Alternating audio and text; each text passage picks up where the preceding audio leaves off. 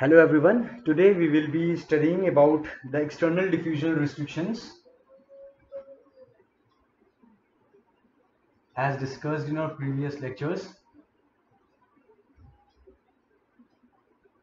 In the last lecture we discussed about the partition effects.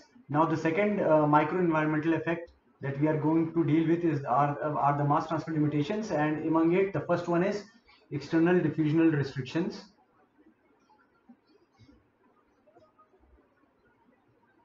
We can abbreviate it as EDR.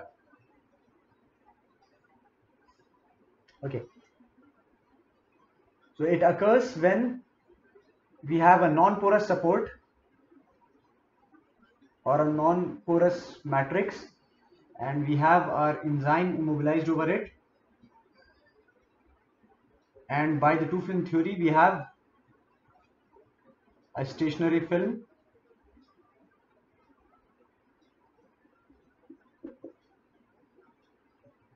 So by partition effect, we have a bulk substrate concentration and a substrate concentration inside this thin film, thin stationary film.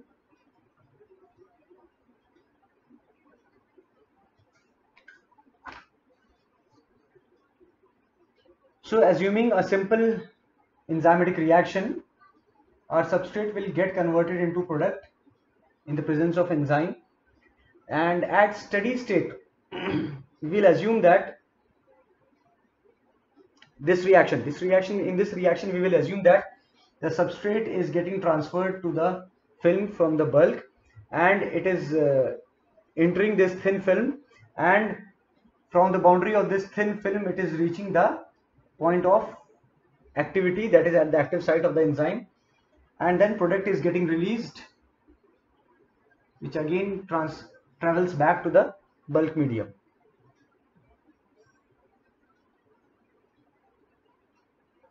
So we have the substrate flux from the bulk medium to the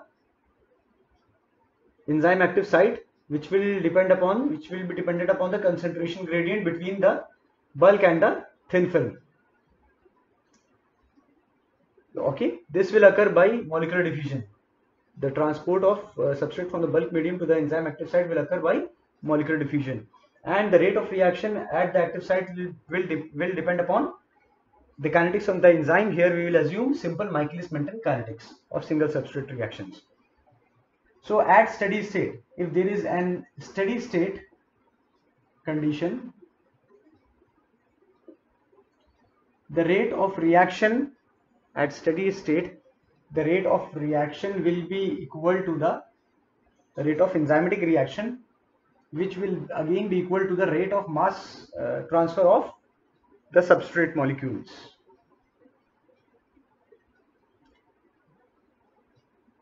So we know that uh, substrate since substrate transport is by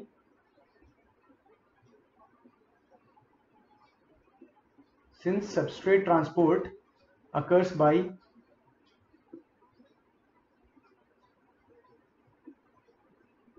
molecular diffusion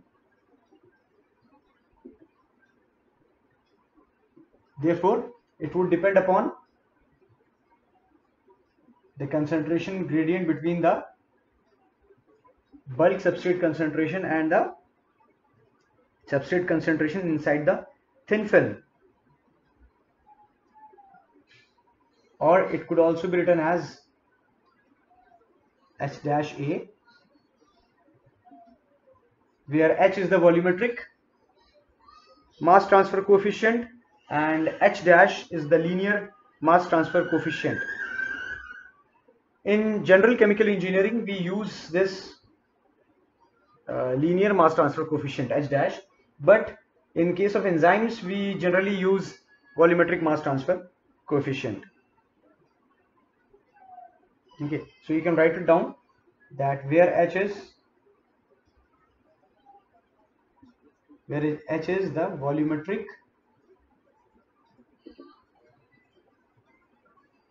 mass transfer coefficient.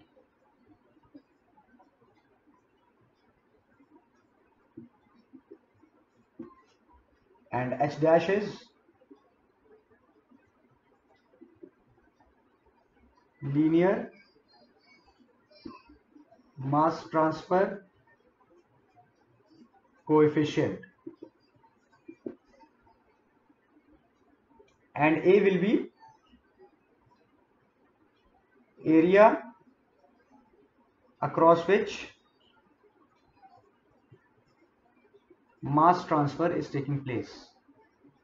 Yeah mass transfer or mass transfer is occurring. Area across which mass transfer is occurring.